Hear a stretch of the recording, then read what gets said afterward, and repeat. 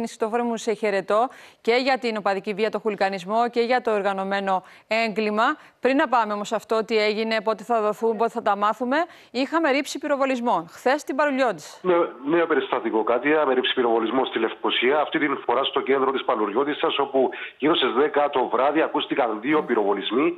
Στο σημείο βρίσκονται ομάδα 10 περίπου αλλοδαπών και διερευνάται κατά πόσο συνδέονται με την υπόθεση. Από τις εξετάσεις της αστυνομίας, στη σκηνή διαπιστώθηκε ότι πλήγηκε ένα όχημα το οποίο ήταν σταθμευμένο ε, στην περιοχή, ωστόσο δεν προέκυψε οποιοδήποτε τραυματισμός προσώπου Κάτια. Μάλιστα. Λοιπόν, και έλα να μας εξηγήσεις τι γίνεται με αυτά τα μέτρα. Ήταν να ετοιμαστούν, τα είχε ζητήσει ο Υπουργός Δικαιοσύνης. Η αστυνομία γνωρίζει, ζήτησε μέτρα.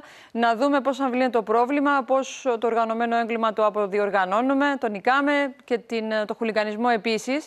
Ε, έχουμε κάποιες ενδείξεις; Με τα μέτρα για την καταπολέμηση της ομαδική βίας και της εγκληματικότητας. Κάτι απαραλήφθηκαν από τον Μάριο Χατσότη και κλήρωσαν από το περασμένο Σάββατο και αναμένεται να ανακοινωθούν το μεσημέρι ή το αργότερο νωρίς το απόγευμα, όπως ανακοίνωσε και ο ίδιος ο Υπουργός Δικαιοσύνης πριν από λίγο κατά την επίσκεψή του στην αστυνομική διεύθυνση Λευκοσίας.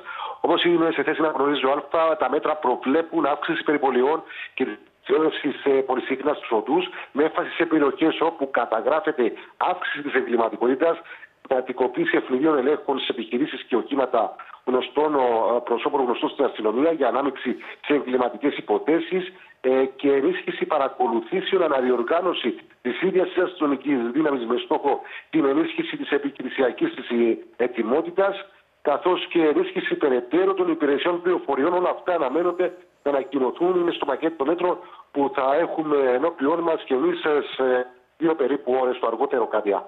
Μάλιστα, θα τα δούμε και έχουμε δήλωση βεβαίως και του Υπουργού Δικαιοσύνης. Πριν να σας πω και και κύριοι, μιλώντας για υπηρεσία πληροφοριών, γιατί θα, συνε... θα δώσουμε συνέχεια στο πρωτοσέλιδο σήμερα του πολίτη και σε σχέση με τον Τουρκοκύπριο δικηγόρο, ο οποίος τώρα κρατείται στη Ρώμη και είναι να αποφασιστεί που θα δικαστεί. Δύο εντάλματα σύλληψης, ένα από την Κυπριακή Δημοκρατία, ένα από την Europol. Ε, και του το ανανεώσαμε το διαβατήριο, ε, ενώ εκκρεμούσαν αυτά, μη γνωρίζοντας η δεξιά μας τι πει η αριστερά μας. Εδώ, αυτά λέγοντας. Πάμε να ακούσουμε τη